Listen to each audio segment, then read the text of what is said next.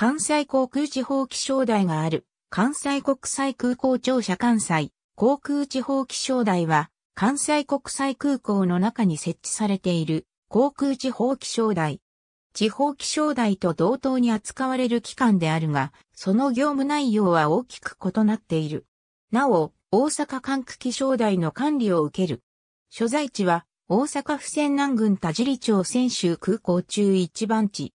主に、関西空港を利用する航空機の安全のために、空港やその周辺の気象を予測して、飛行場予報などを発表したり、関西侵入管制区をカバーする区域の悪天予想図を発表したりしている。関西空港だけでなく、口述の出張所の所在する空港の一部に対しても、飛行場予報などを発表している。また、国内外の気象台が発表する予想天気図などの気象資料を収集し、関西空港から出発する航空機に提供している。関西航空地方気象台は、近畿、中国、四国地方の以下の空港に出張所を持っている。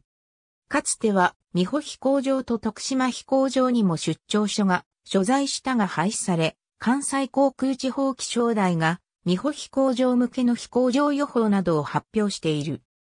なお、大阪国際空港については、関西航空地方気象台とは別組織の大阪航空速攻所の管轄になっていたが、2017年3月23日より予報業務を関西航空地方気象台に移管し、大阪航空気象観測所に改組された。ありがとうございます。